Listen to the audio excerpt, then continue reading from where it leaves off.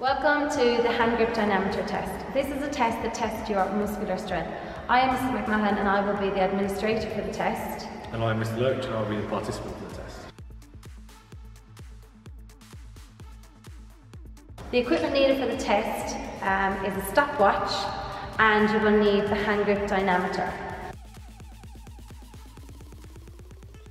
The pre-test requirements um, mean you have to get participants to fill in a consent form and you also need to calibrate the equipment, making sure that it's working properly and it's back at zero.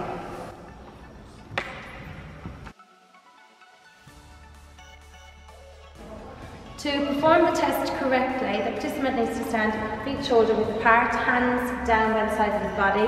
He needs to hold the hand grip dynamometer parallel to his body with the screen facing outwards.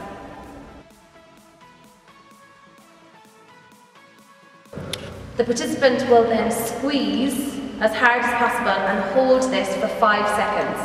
One, two, three, four, five. We would then read the result.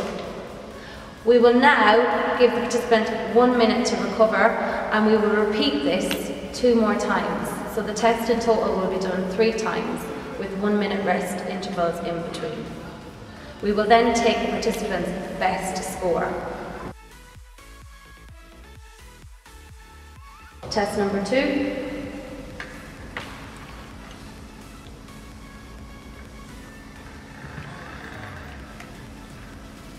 And test number three.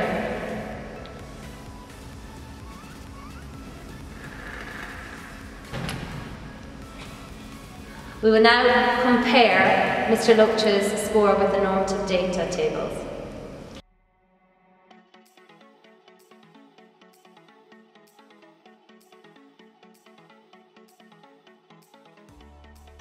Sure that your participants are standing either side with their strongest side, so your right side, nearest the board, and then they must push up the board until they can't reach any further.